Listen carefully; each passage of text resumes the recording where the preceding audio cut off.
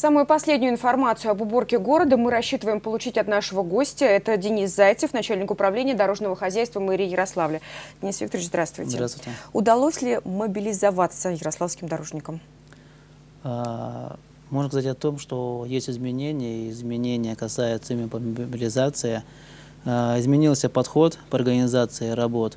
Значит, э, первое, что было сделано, генеральный подрядчик создал свой технический надзор и за субподрядчиками сейчас осуществляет в том числе контроль дополнительно. При этом э, технический надзор генерального подрядчика уже сам принимает решения о дополнительной технике в тех или иных районах и о схеме по уборке, то есть где это необходимо. Вот. Также э, сейчас, э, на, на сегодняшний э, момент, э, у нас вышло порядка где-то 52 единиц комбинированных машин, из них порядка 30 машин это э, с твердыми реагентами, то есть так называемая песчано-соляная смесь, именно для обработки основных магистралей.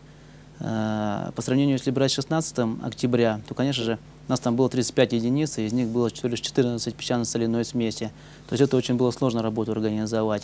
То есть у нас идет процесс увеличения техники. Раз. Дальше. За два часа до начала снегопада, это в 5-6 часов утра, была предварительная обработка мостов, путепроводов, опасных участков. И данная техника осталась в дежурном режиме, именно на этих участках, на опасных. То есть это то, что вот мы раньше входили в зимний период, и был положительный результат. Сейчас опять как бы к этому вот вернулись процессу. Вот такие шаги, которые были сделаны сегодня, они, конечно же, показали, что в принципе дороги все у нас двигаются. Да, действительно, у нас сейчас до сих пор присутствует э, каша, которую надо отжимать.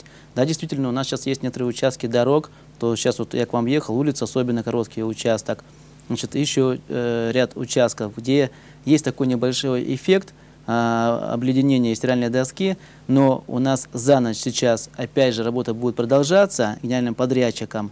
И все-таки мы надеемся, что после окончания снегопада, а у нас сегодня еще с вами ночью будет снегопад, мало того, что ожидается э, с часу ночи до двух, возможно, падение осадков в виде дождя, а под утро опять снег, то все-таки надо сейчас усилиться, это все прогнозировать, опять обязательно просыпать песчано-соляной смесью все основные магистрали. Только после этого, окончания снегопада, в течение 6 часов, мы уже с вами будем давать оценку. Справился подрядчик, не справился подрядчик. Я правильно вас поняла, что завтра ярославским автолюбителям и пешеходам не стоит опасаться за то, э, как они будут добираться на работу? То, что во время снегопада а, будут производиться работы, это факт. А, значит, то, что у нас снегопад, он будет завтра идти и ночное сегодня, и в дневное время, это тоже так. А, мы надеемся, и так работа сейчас будет организована ночью, что можно будет добраться и до работы, и пройти по пешеходным переходам, пройти по тротуарам, а, на остановке. Мы надеемся, что именно позволит большее количество людей все-таки э, поддерживать именно состояние, когда можно, ну, по крайней мере, не опасаться то, что поскользнешься. Но самое главное для нас – это и во время снегопада убираться – это раз. И после окончания снегопада. Ну что ж, удачи в вашей работе. Спасибо. О самой насущной проблеме на сегодняшний день уборки города мы говорили с начальником управления дорожного хозяйства мэрии Ярославля Денисом Зайцевым.